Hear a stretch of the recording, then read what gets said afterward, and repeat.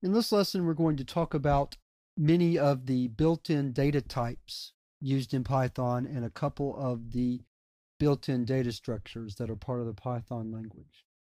I don't mean for this to be a comprehensive list either of data types or of data structures. This is just an overview of the more common data types and two of the most common data structures that you'll be seeing in the course and that you use in Python programming. We're going to use the interactive shell for this lesson, so let's go ahead and load it. So we type Python, and that loads the shell. First thing I want to show you how to do is how to clear the screen.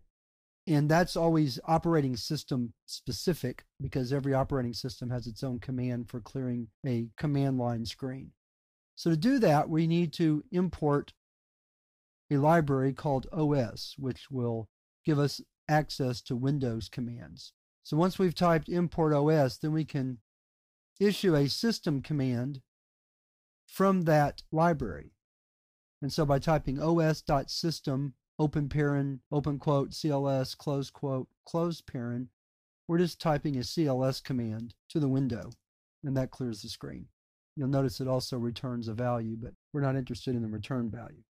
So that's how you've cleared the screen. And once you've imported OS, you don't have to do it again. So for example, I can put a couple of things in here that I can say. And the screen's cleared. All right, so the first data type we want to look at are numbers. One of the nice things about numbers is that you can use the different types of numbers interactively. So for example, I can mix integers with floating points. But first, let's just look at some simple examples. So 1 plus 2 is 3. That's simple enough. 2 times 3.14159, or pi, is 6.28318. So here I'm clearly mixing floats and integers and not having a problem doing so. Now you can do that in other languages, but I don't have to have a specific type. And even if I declare variables, so for example, if I say num is equal to 2.1, I can say num is equal to 2, Python has no problem switching to a floating point type 2.1 to an integer type 2. So in that respect, Python doesn't recognize types in the same way lots of other compiled languages do.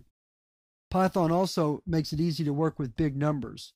So if I raise 2 to the 100th power, I at least get an answer and not cause the system to crash.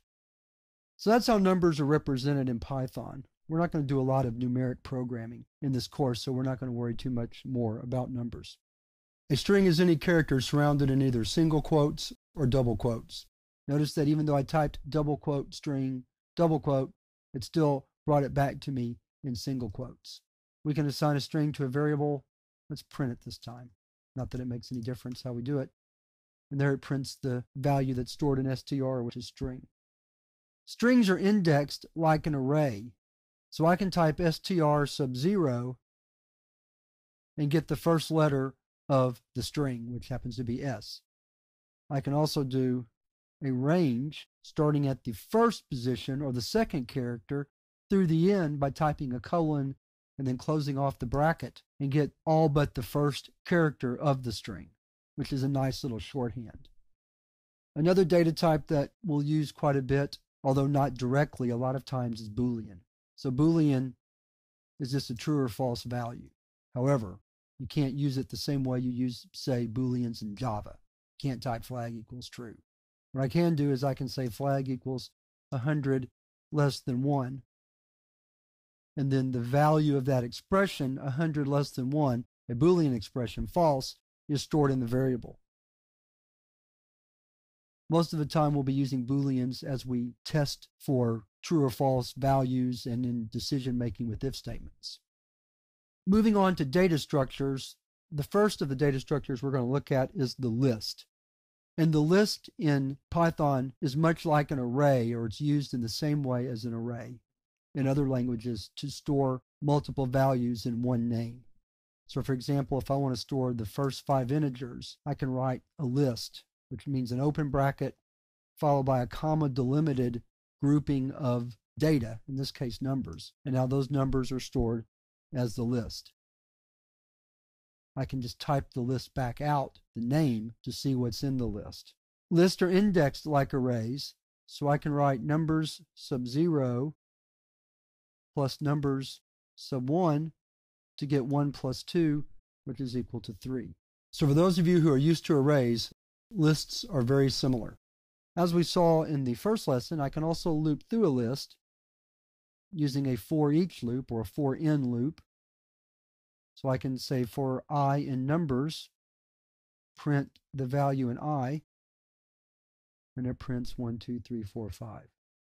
So you see the lists are similar to arrays, but are much more flexible. There's a lot more you can do with lists in Python than you can do with arrays, even vectors in C++, for example. If you're familiar with symbolic programming languages like Scheme and Lisp, lists are flexible much in the same way that Lisp is and Scheme. The second data structure we're going to look at is the dictionary. And dictionaries are used to store key value pairs. Let's say, for example, I want to store a list of phone number extensions in an office. I can do that by creating a dictionary. And a dictionary is noted by using an open curly brace to begin the first part of the dictionary. Then I write the first key in quotes, followed by the value that's associated with that key. So, for example, here we're saying that Bob has the extension 322. Let's do a couple more. Mary's at 110, and Joe 222. Then I close the dictionary by typing a closing curly brace. Now, if I want to pull data out of the dictionary, I can do it by a key. So if I want to see Bob's number, I just type numbers sub Bob and it returns the key that I'm looking for. Let's do that with Joe, just for another example.